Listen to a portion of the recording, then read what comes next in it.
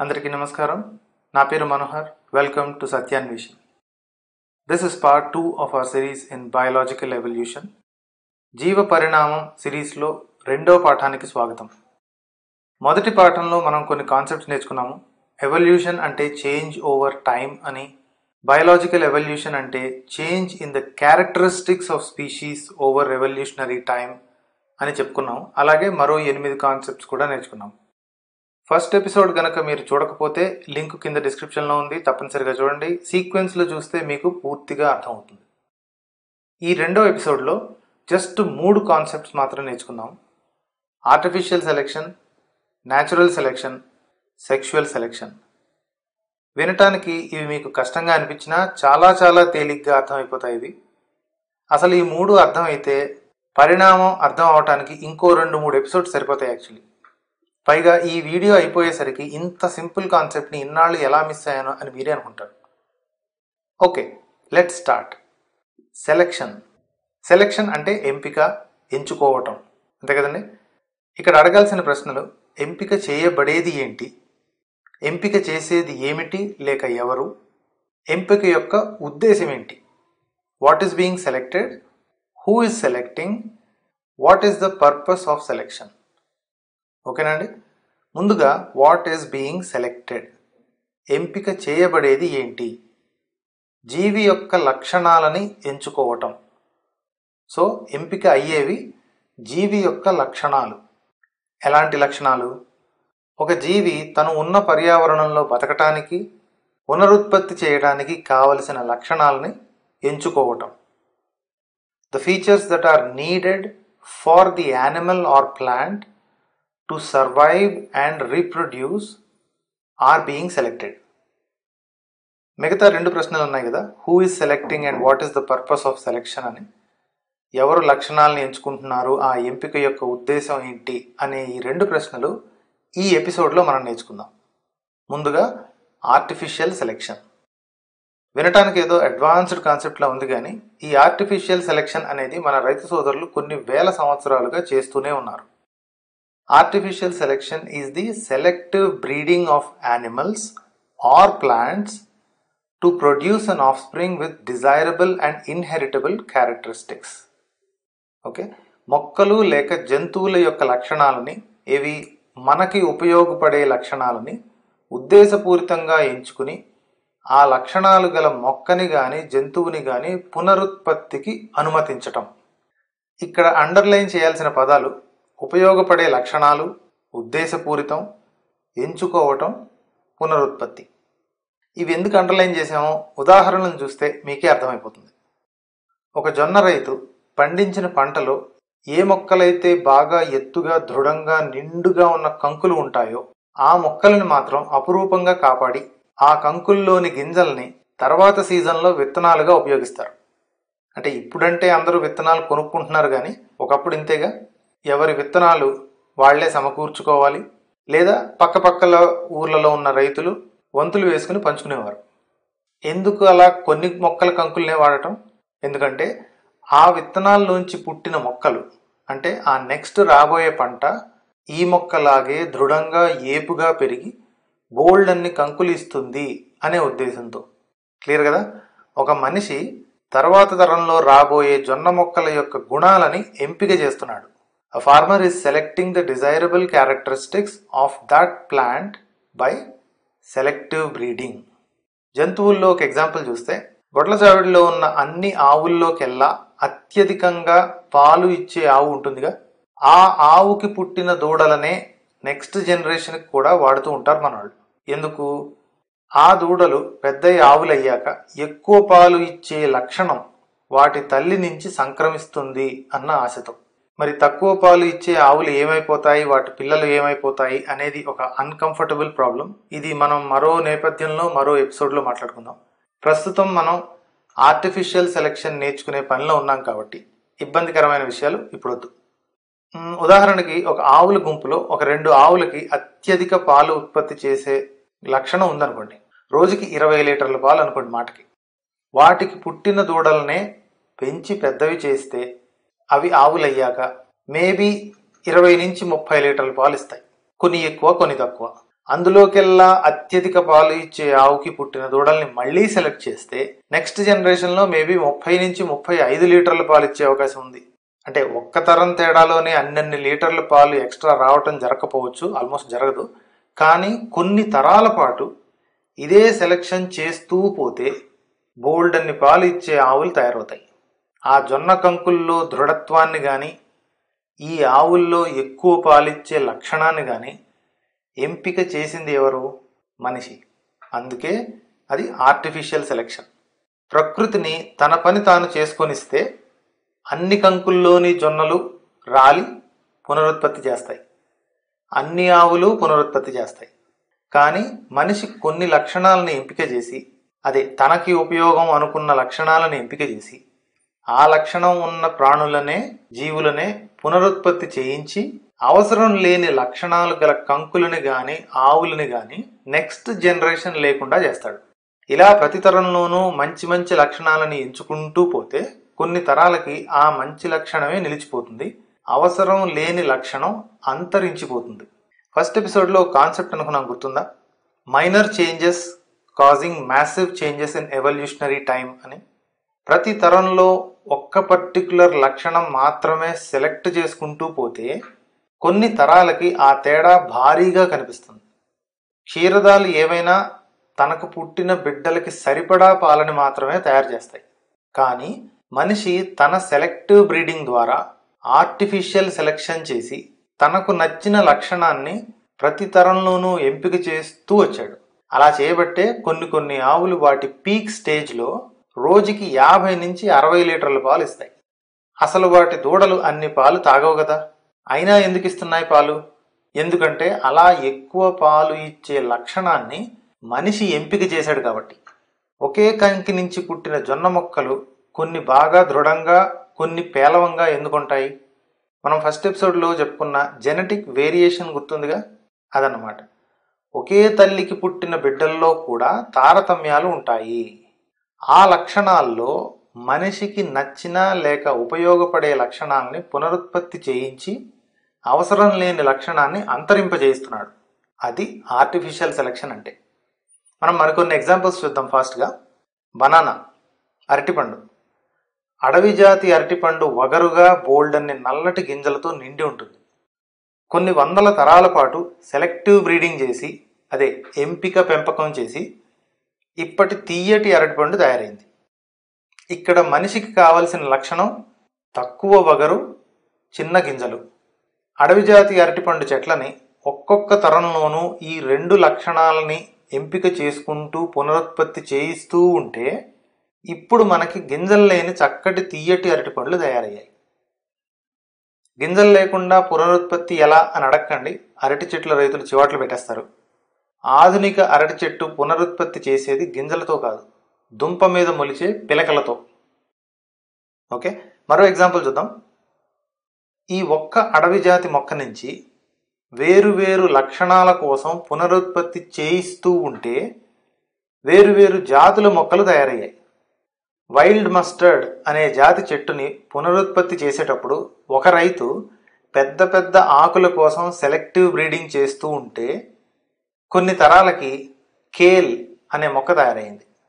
అదే వైల్డ్ మస్టర్డ్ని చివర్లో ఉండే టెర్మినల్ బర్డ్స్ కోసం సెలెక్టివ్ బ్రీడింగ్ చేస్తే కొన్ని తరాలకి క్యాబేజ్ తయారైంది. మళ్ళీ అదే వైల్డ్ మస్టర్డ్ని గుండ్రటి కాండం కోసం సెలెక్టివ్ బ్రీడింగ్ చేస్తే కోల్ రాబీ అనే వెజిటబుల్ తయారైంది. అదే వైల్డ్ మస్టర్డ్ని ఫ్లవర్ బర్డ్స్ కోసం సెలెక్టివ్ బ్రీడింగ్ చేస్తే కాలీఫ్లవర్ తయారైంది.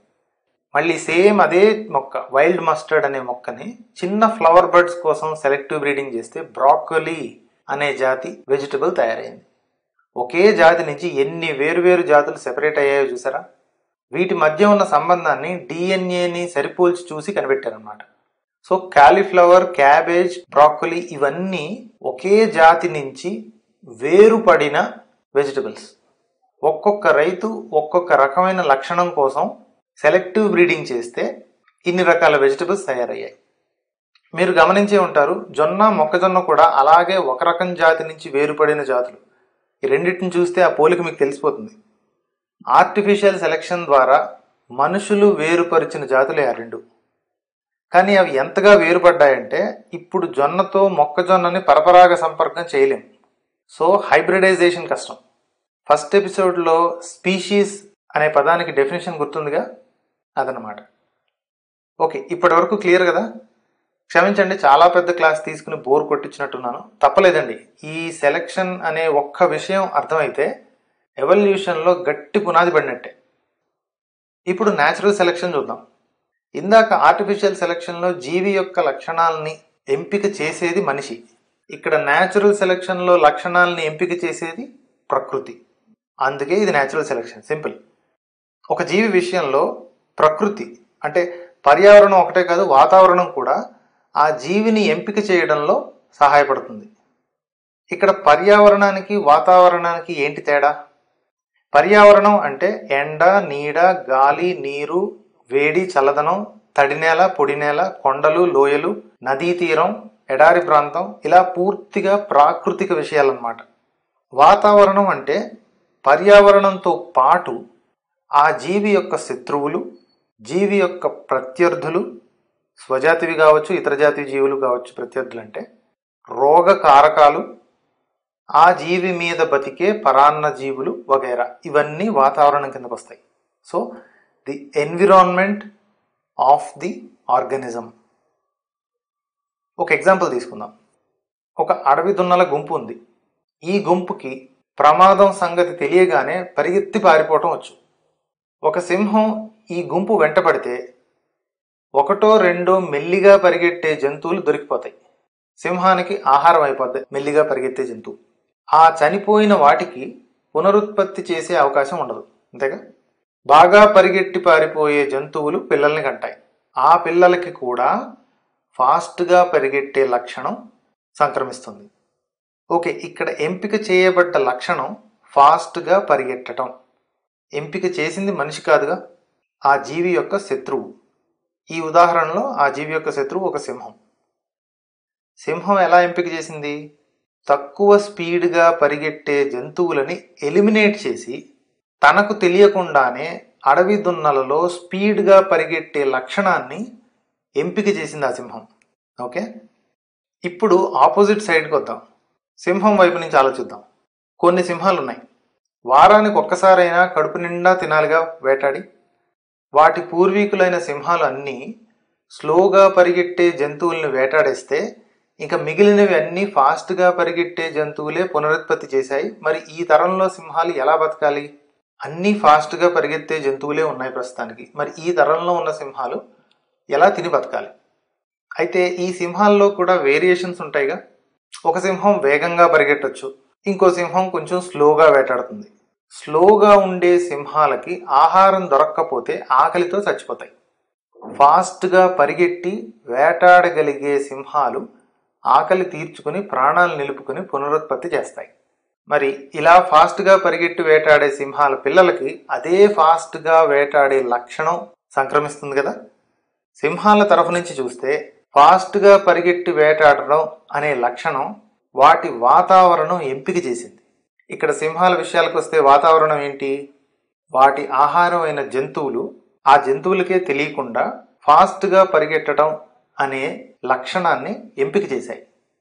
ఇలా జంతు జాతులన్నీ వాటి వాటి వాతావరణం వాటి మీద పెట్టే సెలక్షన్ ప్రెషర్ని తట్టుకుని బతికి పునరుత్పత్తి చేస్తూ పోతే ప్రస్తుతానికి మనకు కనిపించే లక్షణాలతో జీవాలు ఉన్నాయి. మరోసారి మన సింపుల్ నిర్వచనం చూద్దాం. Natural selection is the process where organisms with favourable traits are more likely to reproduce. In doing so they pass these traits to the next generation. Over time this process allows organisms to adapt to their environment జీవులలో వాటి వాతావరణంలోని ఒత్తిళ్ళ కారణంగా కొన్ని లక్షణాలు ఎంపికకి గురవుతూ ఉంటాయి. అలా ఎంపికకి గురైన జీవులే పునరుత్పత్తి చేస్తాయి. ఇలా కొన్ని తరాల పాటు ఉన్న లక్షణాల్లోకెల్లా బెస్ట్ లక్షణాన్ని ప్రకృతే ఎంపిక చేస్తూ వస్తుంది యాదృచ్ఛికంగా. కొన్ని తరాలకి ఇవి ప్రత్యేక లక్షణాలుగా నిలిచిపోతాయి. ఇక్కడ వాతావరణ ఒత్తిళ్ళు అన్నాం కదా. వాతావరణ ఒత్తిళ్ళు అంటే ఒక జీవి తన జీవితంలో ఎదుర్కోవాల్సిన అన్ని విషయాలు ఈ ఒత్తిడి కిందకే వస్తాయి. దీన్ని సెలెక్షన్ ప్రెషర్ అని ఎవల్యూషనరీ ప్రెషర్ అని అంటారు. జీవులన్నీ పుడతాయి చనిపోతాయి. ఇందులో వింతేమీ లేదు కదండి. కానీ కొన్ని మాత్రమే పునరుత్పత్తి చేస్తాయి. ఇంకో పాయింట్ ఏంటంటే ఒక లక్షణాన్ని మాత్రమే ప్రకృతి కానీ మనిషి కానీ ఎంపిక చేసుకుంటూ పోతే కొన్నాళ్ళకి ఆ ఆపోజిట్ లక్షణం అనేది అంతరించిపోతుంది. సో ఈ సెలక్షన్ వల్ల జరిగేవి రెండు విషయాలు. ఒకటి సెలెక్ట్ కాబడిన లక్షణం నిలిచిపోతుంది ఫ్యూచర్ జనరేషన్స్కి వస్తుంది. సో ఈ సెలక్షన్ ప్రెజర్కి తట్టుకోలేని లక్షణం అంతరించిపోతుంది. రైట్ ఇందాక చెప్పుకున్న ఎగ్జాంపుల్స్లో జొన్న కంకులు చిన్నగా పేలగా ఉన్న మొక్కలు క్రమేణా అంతరించిపోతాయి. ఎందుకంటే మనిషి వాటిని పునరుత్పత్తి చెయ్యనివ్వడు కాబట్టి. అలాగే మెల్లిగా పరిగెట్టే జింకలు కానీ అడవి దున్నలు కానీ క్రమేణా అంతరించిపోతాయి. సో మెల్లిగా పరిగెట్టడం అనే లక్షణం అంతరించిపోతుంది. ఆ జీవజాతిని మొత్తంగా చూస్తే ఫాస్ట్గా పరిగెట్టడం అనే లక్షణాన్ని అలవర్చుకుంటుంది ఆ జీవజాతి. కొన్ని తరాల తర్వాత చూస్తే అసలు జింక అంటేనే చెంగు చెంగున వేగంగా పారిపోతుంది అన్న సంగతి మనకు కనిపిస్తుంది. మెల్లిగా నడుచుకుంటూ వెళ్ళే జింకల్ని మనం ఊహించలేం. ఎందుకంటే అలా మెల్లిగా కదిలే జింకలన్నీ సింహాలకి ఆహారం అయిపోయి ఉంటాయి. మెల్లిగా కదలటం అనే లక్షణం జింకల్లో అంతరించిపోయింది. రైట్? న్యాచురల్ సెలక్షన్కి మరో ఎగ్జాంపుల్ చూద్దామండి. ఇక్కడ రెండు రంగుల కీటకాలు ఉన్నాయి అవి ఉండే పర్యావరణం ఇదిగో ఈ పచ్చ రంగులో ఉంది. మిమ్మల్ని మీరు ఒక ఆకలితో తిరుగుతున్న ఒక పక్షి అనుకోండి కాసేపు. ఈ బ్యాక్డ్రాప్లో మీకు మొట్టమొదట కనిపించే కీటకం ఏది? రైట్? పక్షులు మొదట ఏది ఈజీగా కనిపిస్తే ఆ కీటకాన్ని దొరకబుచ్చుకుని వెళ్ళిపోతాయి. అంటే ఆ రంగు కీటకాలు పక్షులకి ఆహారం అయిపోతాయి. గ్రీన్గా లేని కీటకాలు ముందు తినేయబడతాయి. రైట్? సో తర్వాత తరంలో పిల్లల్ని కనటానికి ఏ రంగు కీటకాలు ఎక్కువగా ఉన్నాయి ఇక్కడ? మిగిలిపోయిన ఆకుపచ్చ రంగు కీటకాలే బతికి పునరుత్పత్తి చేసి మళ్ళీ ఆకుపచ్చ రంగు కీటకాలనే కంటాయి సో ఆ పక్షి తనకు తెలియకుండానే ఆకుపచ్చ రంగు ఉన్న కీటకాలు వృద్ధి చెందటానికి ఇండైరెక్ట్గా కారణమైంది. ఇలా కొన్ని తరాలు గడిచిపోతే ఆ పసుపు లేక ఎరుపు రంగు ఉన్న కీటకాలు అంతరించిపోతాయి. ఈ వాతావరణంలో ఇది ఈ వాతావరణంలో ఆ రంగు కీటకాలు అంతరించిపోతాయి. గ్రీన్గా ఉండే వాతావరణంలో. కొన్ని తరాల తర్వాత చూసేవారికి కీటకాలన్నీ ఇలా ఆకుపచ్చగానే ఉంటాయి అని అనుకుంటారు. కానీ ఆకుపచ్చగా లేని కీటకాలు ఉండేవి అంతరించిపోయాయి అన్న సంగతి మనకు తెలియకపోవచ్చు. ఇప్పుడు పక్షి జాతి వైపు నుంచి ఆలోచిస్తే కొన్ని తరాల తర్వాత అన్ని సుమారుగా ఒకే రంగులో ఉన్న కీటకాలే ఉంటాయిగా. మరి అప్పుడు ఎలా సో ఎరుపు రంగు కీటకాలన్నీ అంతరించిపోతే ప్రతి ఒక్క జీవి సుమారుగా గ్రీన్ కలర్లోనే ఉంటే మరి పక్షులకి ఎలా? సింపుల్. ఆ పక్షుల్లో కూడా కొన్ని కొన్ని వేరియేషన్స్ ఉంటాయిగా. ఏ పక్షికైతే ప్రస్తుతం ఉన్న కీటకాల్లో ఉన్న చిన్న చిన్న తేడా కనిపెట్టి ఆహారాన్ని సంపాదించగలుగుతున్నాయో ఆ పక్షులు మాత్రమే బతుకుతాయి పిల్లల్ని కంటాయి. ఈ కీటకాల్లోని చిన్న చిన్న తేడాలని గమనించలేని పక్షి ఆకలితో చచ్చిపోతుంది. ఆ తేడా కనిపెట్టలేని లక్షణం ఎలిమినేట్ అయిపోతుంది. సో ఇక్కడ ఎవల్యూషనరీ ప్రెషర్ ఆ పక్షి మీద ఎలా పనిచేస్తుంది? స్పష్టంగా చూడగలిగిన క్లియర్గా కీటకాలని గుర్తించగలిగిన లక్షణాన్ని ప్రకృతి ఎంపిక చేస్తుంది. అలా స్పష్టంగా చూడలేని పక్షులు అంతరించిపోతున్నాయి. Right? This is how nature is selecting అర్థమైందిగా?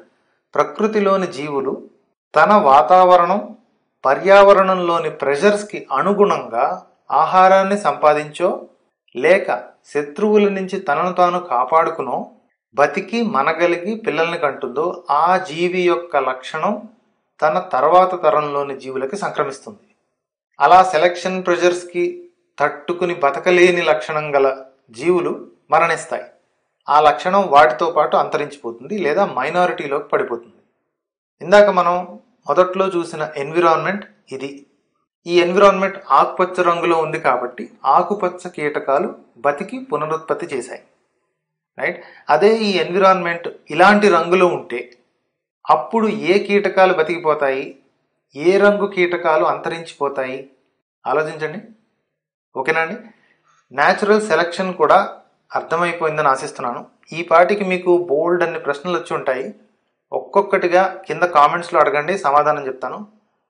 ఆగండి క్లాస్ ఇంకా అవ్వలేదు. ఈ చివరి టాపిక్ కూడా చూశాక అప్పుడు ప్రశ్నలు వేయండి ప్లీజ్ చివరిగా సెక్షువల్ సెలెక్షన్ ఇది కూడా చాలా సింపుల్ అండి. ఆర్టిఫిషియల్ సెలెక్షన్లో లక్షణాలని మనిషి ఎంపిక చేస్తాడు. న్యాచురల్ సెలెక్షన్లో లక్షణాలని ప్రకృతి ఎంపిక చేస్తుంది. సెక్షువల్ సెలెక్షన్లో జీవి యొక్క లక్షణాలని ఆ జీవి యొక్క భాగస్వామి ఎంపిక చేస్తుంది. అంతే వెరీ సింపుల్ దీనికి అద్భుతమైన ఎగ్జాంపుల్ మన జాతీయ పక్షి నెమలి. నెమలి యొక్క శాస్త్రీయ నామం పావో క్రిస్టాటస్ మీరు గమనిస్తే ఆడ నెమలికి పురి ఉండదు. మామూలు పిచ్చి పక్షిలాగా ఉంటుంది. ఓన్లీ మొగ నెమళ్ళకే అద్భుతమైన రంగులతో పురి ఉంటుంది. ఎందుకో తెలుసా? ఎందుకంటే చక్కటి రంగులతో పొడవాటి పురితో నాట్యం చేసి మగనెమ్మళ్ళతోనే ఆడనెమళ్ళు జతకడతాయి. ఇక్కడ అందాన్ని డిమాండ్ చేసేది ఆడనెమలి. సో ఆడనెమలికి పొడవాటి తోక ఉన్నా లేకపోయినా పర్లేదు కానీ మగనెమలికి చక్కటి పొడవాటి తోక లేకపోతే ఆ మగనెమలికి జత దొరకదు. సో ఇక్కడ జరుగుతుంది ఏంటి సెక్షువల్ సెలెక్షన్. ఒక ఆడ జంతువు అదే జాతిలోని మగ జంతువుపై సెలెక్షన్ ప్రెషర్ పెడుతుంది. పొడవాటి తోక ఉన్న మగనెమలితోనే జత కడతాను అని ఒత్తిడి పెడుతుంది ఇక్కడ. సో ఇప్పుడు ఆల్రెడీ బతికి ఉన్న నెమళ్ళలో ఉన్న తోకని అందం పెంచుకోవడం కుదరదు కదండి. సో ఏ మొగ నెమలికైతే చక్కటి రంగులతో పురి ఉంటుందో ఆ మొగ నెమలితో ఆడ నెమలి జత కడుతుంది. తర్వాత పుట్టే మొగ నెమళ్ళకి కూడా అంతే అందంగా పురి ఉండే లక్షణం సంక్రమిస్తుంది. ఇలాంటి ఎగ్జాంపుల్స్ జంతు ప్రపంచంలో చాలానే కనిపిస్తాయి. ఇది చూడండి ఇంత పెద్ద కొమ్ములు అవసరమా వీటికి? ప్రతి దానికి అడ్డం వచ్చేస్తాయిగా. కొమ్మల్లో ఇరుక్కుపోవచ్చు బరువు ఎక్కువై తలభారం కావచ్చు. అయినా వీటికి అంతంత కొమ్ములు వస్తూనే ఉంటాయి. ఎందుకంటే వీటి జాతిలో ఆడ జంతువుల డిమాండ్ అది మరి. ఈ సెక్షువల్ సెలెక్షన్ని మనం మళ్ళీ మరో చోట కలుస్తాం. అత్యధిక శాతం ఆడ జంతువులు మాత్రమే ఈ సెలక్షన్ ప్రెషర్ ఎందుకు పెడతాయి? మగ జంతువులు ఈ సెలక్షన్ ప్రెషర్ నుంచి తప్పించుకోవటానికి వేసే పన్నాగాలు చేసే విన్యాసాలు ఎలా ఉంటాయి? అనేవి మనం ఈ సిరీస్లో డౌన్ బిలో మరో ఎపిసోడ్లో చూద్దాం. కరెక్ట్గా మాట్లాడుకుంటే ఈ సెక్షువల్ సెలెక్షన్ కూడా న్యాచురల్ సెలెక్షన్లో ఒక భాగమేనండి. కానీ పరిణామాన్ని చదివే సైంటిస్టులు దీనికి ఒక ప్రత్యేక స్థానాన్ని ఇచ్చారు. అదేంటో ఎందుకలా సెపరేట్ స్థానం ఇవ్వాల్సి వచ్చిందో దానివల్ల ఎవరికి ప్రయోజనం ఎవరికి నష్టం అనేది ఈ సిరీస్లో మరోసారి ఈ సెక్షువల్ సెలెక్షన్ని పలకరించినప్పుడు చెప్పుకుందాం. ఇవాళ ఎపిసోడ్కి సింపుల్ రివిజన్ చూద్దాం. ఆర్టిఫిషియల్ సెలెక్షన్ మనిషి తనకి కావలసిన లక్షణాలని ఎంపిక చేయటం. న్యాచురల్ సెలెక్షన్ ఒక జీవి ఉండే వాతావరణానికి సరిపోయే ఎలాంటి లక్షణాలు ఎంపిక అవ్వాలో ప్రకృతే నిర్ణయించటం. జీవి తన మనుగడకి కావలసిన లక్షణాలని ప్రకృతి యాదృచ్ఛిక సాయంతో ఎంపిక కాబడటం. Right that is natural selection sexual selection female జీవులు అదే జాతికి చెందిన మేల్ జీవులపై కొన్ని లక్షణాల యొక్క సెలెక్షన్ ప్రెషర్ పెట్టడం వాటితోనే పునరుత్పత్తి చేయటం. నెక్స్ట్ సెలెక్షన్ ప్రెషర్ ఒక జీవజాతి యొక్క లక్షణాలకి అవి ఉండే వాతావరణం పెట్టే ఒత్తిడి. ఈ ఒత్తిడికి తట్టుకుంటేనే ఆ ఫేవరబుల్ లక్షణం గల జీవులు పునరుత్పత్తి చేస్తాయి. లేకపోతే ఆ తట్టుకునే లక్షణం లేని జంతువులు చనిపోతాయి. తద్వారా ఆ అన్ఫేవరబుల్ లక్షణం ఏదైతే ఉందో అది అంతరించిపోతుంది. నెక్స్ట్ ఎపిసోడ్లో మనం మరో సెట్ ఆఫ్ కాన్సెప్ట్స్తో కలుద్దాం. ఆ తర్వాత జీవ పరిణామానికి సంబంధించిన ప్రతిపాదనలు ముఖ్యమైన శాస్త్రవేత్తల అభిప్రాయాలు శిలాజాలు ఆధారాలు ఇది మన ఎవల్యూషన్కి ఆధారాలు. అన్నీ చూద్దాం.